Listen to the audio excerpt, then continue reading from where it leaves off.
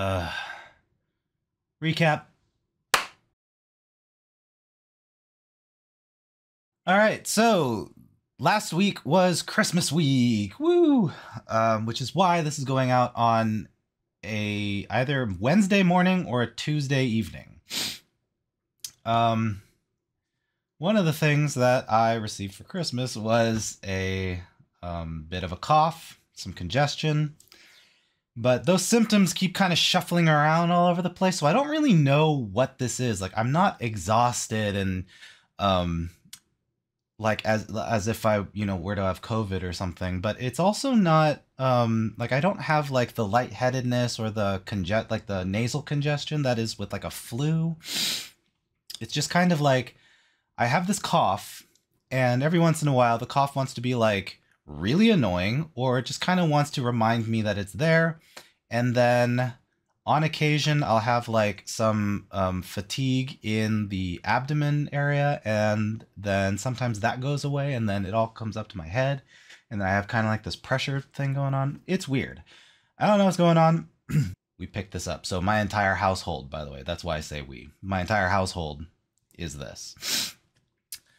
Um, beyond that, though, uh, the Christmas holiday was very lovely. And um, all the gifts were quite practical. So we had we had t-shirts. I actually kind of wanted pants this year because a lot of them are like these sort of like sweatpant sort of material.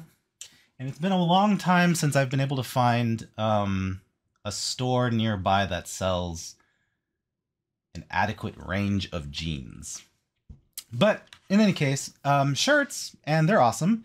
One was like a pink Godzilla shirt, the other one was like this dog that's um, saying some stuff. And then um, my dad got my mom a new vacuum, and hopefully I can steal that and kind of clean up a lot of this like little debris that was caused by that thing.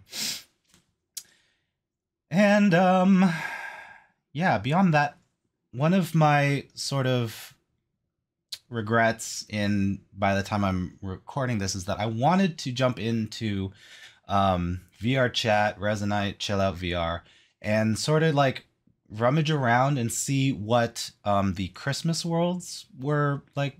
You know what what are their quality? How much work did their creators put into it?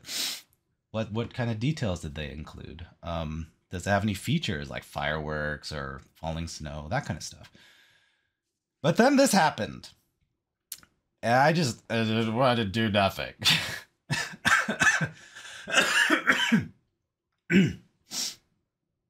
Sorry.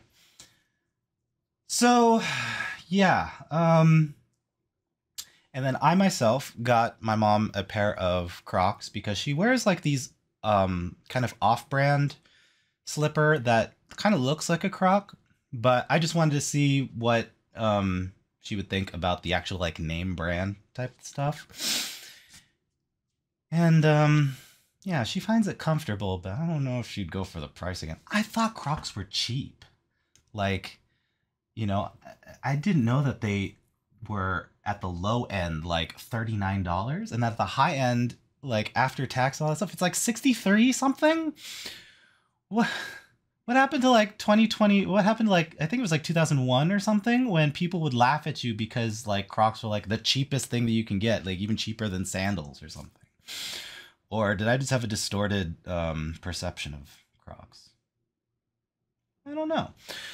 Well, anyways, um, and then I sort of didn't realize I thought that it was going to be Christmas Eve, Saturday, Christmas Day, Sunday, and then I would do this whole thing on Monday, but I was one day I was one day off.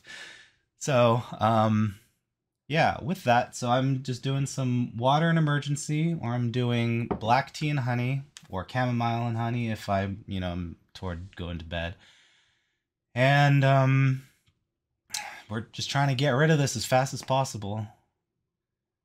And then coming up next is New Year's. So, and the New Year's is going to be the same thing because, you know, it's going to be Sunday, fireworks, Monday, and then I'm gonna probably do this again. So, woo. Uh, okay. I think that's long enough. So that's it for me. Out.